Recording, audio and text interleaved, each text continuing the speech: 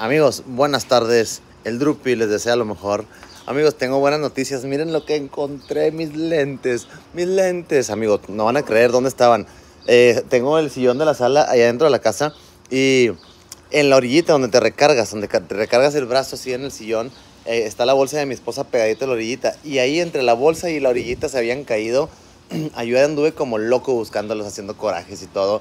Y luego ya en la noche los encontré y se me olvidó decirles. Y amigos, bueno, aparte de esta buena noticia, una buena noticia porque valen una lana.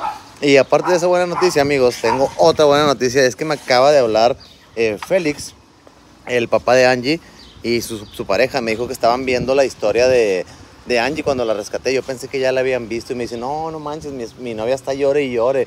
Y le digo, bueno, pues este, muchas gracias por verle. Me dice, no, es que está increíble que estaba muriendo y cosas así. Le digo, sí, la verdad, es un caso especial, Angie, la verdad, sí. Me dice, no, pues ahora ya nos enamoramos más. Pensé que ya habían visto la historia y por lo general cuando, cuando los adoptantes ya vieron la historia, pues eh, hacen un vínculo más fuerte con los perritos. Y yo, pensé que ellos ya la habían visto y dije, bueno, pues por eso saben cómo está la onda con Angie. Pero no, no la habían visto. Y dicen que ahora la quieren más. Y amigos, yo ya la voy a poner, ya lo voy a poner. Ya tengo listo el video de cuando, cuando fui a dejarla en adopción a Angie. Y ahí hace un contacto con Ramona. Y lo, lo, voy a subir en este momento. Nada más. Después de este video voy a subirlo. Así que, ay, miren qué bonita.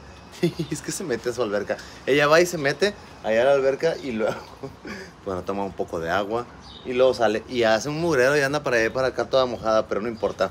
Y bueno, vaya, por favor, ayúdenos. Vayan a ver el video de la historia de la, del quinto hogar de Angie. Es el río. Y luego aquí mi casa. Y luego una adoptante, otro adoptante.